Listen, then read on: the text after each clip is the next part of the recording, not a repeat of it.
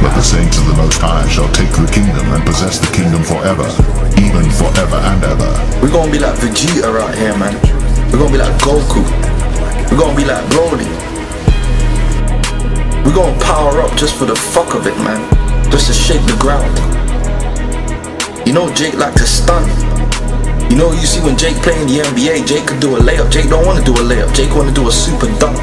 So imagine when we get them powers, man. We're gonna be stunning, man. We're gonna show off. But the saints of the Most High shall take the kingdom and possess the kingdom forever, even forever and ever. Hey, what did Magneto say? The humans and their guns, man. Fuck is a gun, man. Man, we're gonna shoot fire out, man. we're gonna be like them comic books, man. We're gonna be straight out of a comic book, man. Real. That's why those comic books resonate with Jake more than anyone else. Because it's in us, man. That power is really in us.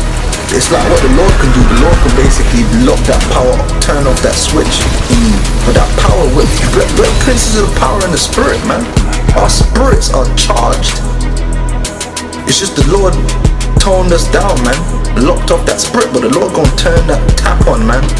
And that's we gonna feel that, man. The day I feel that power, man, I'm gonna break these chains. I'm gonna fucking get down on you crackers, man. We gonna have fun out here. I'm gonna throw whole building, a whole building on one man.